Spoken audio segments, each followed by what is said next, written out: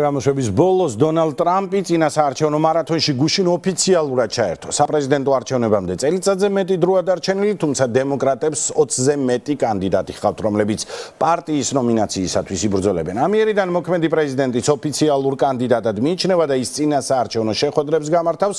პირველი ასეთი შეხვედრის შესახებ კი ამერიკის ხმის ჟურნალისტი ეკა მაღალდაძე ჩაგვერთვება პირდაპირ ეთერში და გვიამბობს რა ხდებოდა გუშინ ფლორიდაში და როგორ აფასებენ პრეზიდენტის ახალ სტარტს. რატომ არ არის ეს მნიშვნელოვანი მომენტი მოქმედი პრეზიდენტისათვის და რას ნიშნავს კამპანიაში მისი ოფიციალურად ჩართვა? რა ხდება დემოკრატთა ფრონტზე? ეკა მაღალდაძე შემოგვიერთდება პირდაპირ ეთერში. ეკა კითხვები დასმულია გისმენთ.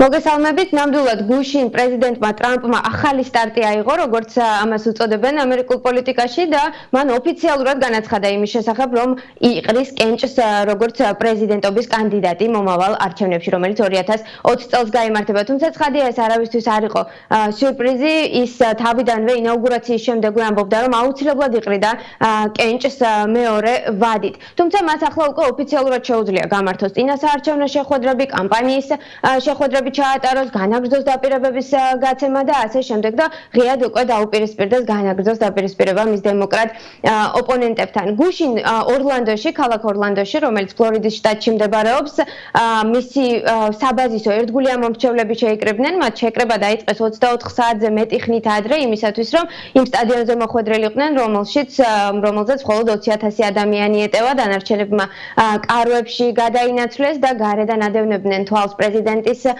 სიტყვას, თუმცა ცხადია იყვნენ პრეზიდენტის მოწინააღმდეგეებით. შეკრებილნი ქალაქ მაიამიდან სპეციალური ქარავანი, ეგრეთ წოდებული ქარავანი გაეშურა ქალაქ ორლანდოსკენ სწორედ იმისთვის რომ პრეზიდენტის პოლიტიკა გაეპროტესტებინათ მათ შორის ყველაზე მეტად კი მისი საიმიგრაციო პოლიტიკა. რაც შეეხება თავად პრეზიდენტის მთავარ გზავნილებს პოლიტიკის ანალიტიკოსები ამბობენ რომ მათ არ ქონდა ბევრი ახალი გზავნილი და ძირითადი თემები რომლებზეც მან ისაუბრა კლავის თემები იყო რომლებიც და დაპირებები და ის საკითხები რომლებიც მათ რეალურად დაეხმარა გამარჯვების მოპოვებაში. 2016 წელს მისი მთავარი სლოგანიც გუშინ იყო შევინარჩუნოთ ვთქვათ ამერიკა დიადი და ცხადია ეს არის გადაძახილი მის 2016 წლის სლოგანზე რომ გავხადოთ ამერიკა კლავ დიადი. მან ისაუბრა იმ საკითხებზე რომლებსაც თავისი პრეზიდენტობის უმთავრეს მიღწევად მიიჩნევს რა თქმა უნდა ძლიერ ეკონომიკაზე სავაჭრო ურთიერთობებზე საიმიგრაციო პოლიტიკასა და სასაზღვრო უსაფრთხოების გაძლიერებაზე თუმცა ანალიტიკოსები ფიქრობენ რომ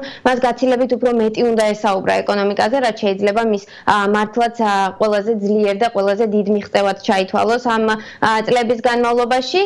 და უფრო ნაკლები უნდა ესაუბრა იმ საკითხებზე რომლებსაც საზოგადოებაში ძალიან ძლიერი დაყოფა და დაპირის პირება არსებობს. სწორედ ამას უწუნებენ ანალიტიკოსები პრეზიდენტს ამ გამოსვლაში ამბობენ რომ ის არ მოიქცა ბევრი სხვა პრეზიდენტის მსგავსად, რომლებიც ცდილობდნენ, რომ როდესაც აცხადებდნენ ხელმეორედ კენჭისყრის შესახებ, არჩევნებში მონაწილეობის შესახებ, კამპანიის დაწყებისას მათი სიტყვა იყო უფრო ოპტიმისტური, უფრო მიღწევებზე ორიენტირებული და უფრო მეტად გაისმოდა მოწოდებები მოსახლეობის მიმართ, რომ გაერთიანდნენ და რომ დამაპირისპირებელი დამაპირისპირებელ საკითხებზე მოინახოს საერთო ენა. ანალიტიკოსები ამბობენ, რომ პრეზიდენტ ტრამპის სიტყვაში ასეთი რამ ვერ მოისმინეს და პირიქით მან განაგრძო ასეთი ქმედებები თავდასხმა დემოკრატებზე, თავდასხმა მედიაზე, მან კვლავ ყალბი ახალი ამბების გამავრცელებლად მოიხსენია ის მედია საშუალებები, რომლებიც მის მიმართ კრიტიკულად არიან განწყობილები, კვლავ რადიკალი ექსტრემისტები, მემარცხენეები უწოდა, ექსტრემისტი მემარცხენეები უწოდა დემოკრატებს, თქვა რომ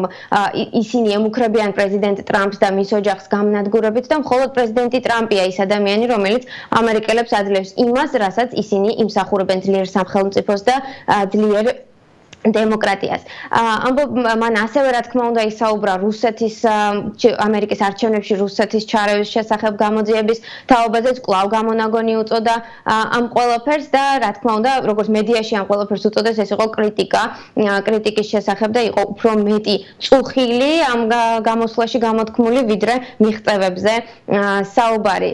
თქვენ მკითხეთ ასევე დემოკრატიული ფრონტის შესახებაც დიახ და პრეზიდენტ ტრამპმა ცხადია დიდი ხნის განმავლობაში ამბობდა რომ მიიღებდა მონაწილეობას არჩევნებში, თუმცა ორი წელი იყო დაახლოებით დარჩენილი საპრეზიდენტო არჩევნებამდე, როდესაც დემოკრატმა კანდიდატებმა დაიწყეს აქტიურად განცხადებების გაკეთება იმის თაობაზე, რომ მათ სურთ პრეზიდენტ ტრამპის დამარცხება.